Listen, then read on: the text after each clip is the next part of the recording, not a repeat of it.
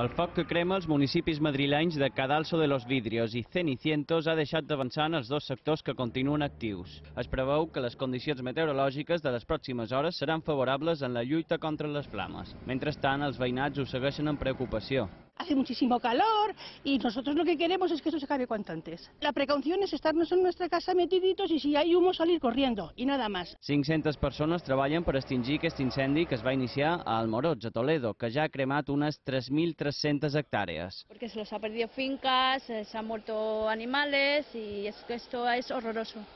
Llevamos tres días sin dormir.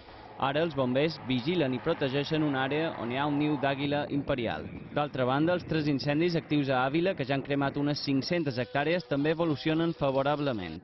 I a Tarragona, la superfície finalment calcinada per l'incendi a la Ribera d'Ebre és de 5.000 hectàrees, més de 1.000 manco del que es creia abans de l'anàlisi des de l'aire del perímetre afectat. El foc ja està controlat i totes les persones que havien estat evacuades de casa seva ja hi poden tornar.